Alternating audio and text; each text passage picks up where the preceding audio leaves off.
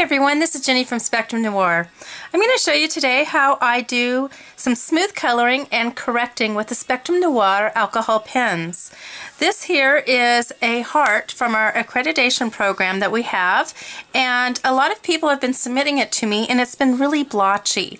And what I'm trying to teach people here is actually smooth coloring. We don't use smooth coloring very often but when we do we want to make sure that it's nice and smooth and doesn't look blotchy.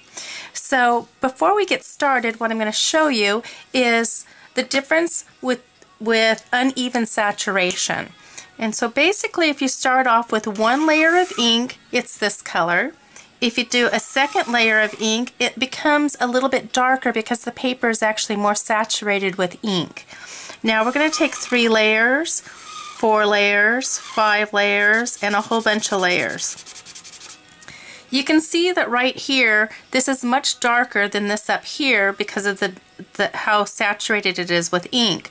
Let's just put one layer of ink right next to this five layers of ink, and you can definitely see that it almost looks like two colors, but it's in fact the same color, just more saturated on the paper.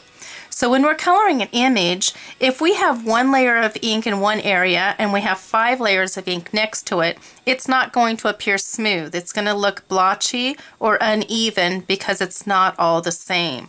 You can actually start off with doing one color and then you can start getting darker and darker and darker down here and actually make it look like it's different colors, but you have to make sure and overlap each stroke. And that's not what we're trying to do here on the Spectrum Noir test. So let's go ahead and try coloring on our heart. So what I like to do is I like to go ahead and start by just outlining my image. That way I'm not going to have to go up to the line several times. I'm just going to have to go into this line. So there's my first and now I'm going to go ahead and I'm overlapping each stroke. I happen to be coloring in circular motion. You do not have to color in circular motion, but this gets it nice and even. And you can see that my ink saturation is even, meaning that when it dries, it's going to look nice and even, all one color. This side of my heart, what I'm going to do is I'm going to kind of randomly color it, not overlapping each of my strokes and I'm going to be heavier in some areas than other areas on purpose. And you can see that I have this big old blotchy spot in the center and it doesn't look smooth. If your image does that to you, it's okay. All you have to do is put another layer of ink on top of it and it's going to blend or bleed those strokes together and make your saturation more even. So that's all there is to it to get a nice smooth image. And I do also ask you in this section of our accreditation uh, test to go ahead and correct.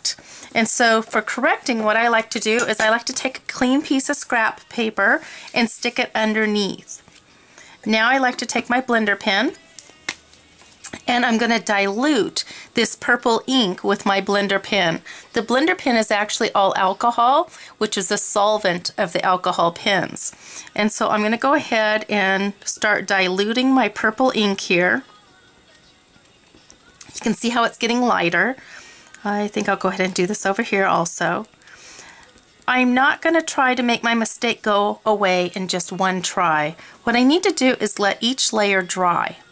If I keep sitting here and doing this, trying to get it to go away, what's going to hap happen is it's going to start wicking inside my purple heart and it's going to start diluting the color inside the heart, where in fact I only want to erase it on the outside. So what I have to do is let it dry between each try and then go back and try some more. Eventually the mistake will go away on most light colors. Some of the dark colors you might not actually get it to go away, but most of them you will be able to correct your mistakes. And so let's let that dry again. If you look underneath at your clean scrap paper, you can see where the color actually went to. What I've done is actually diluted it and pushed it through to the clean scrap paper underneath if I did not have the clean scrap paper underneath, it would have hit my plastic craft mat and it would have wicked right back through and I might as well not have tried to make the, uh, the correction in the first place because it actually would make a bigger mess to start with.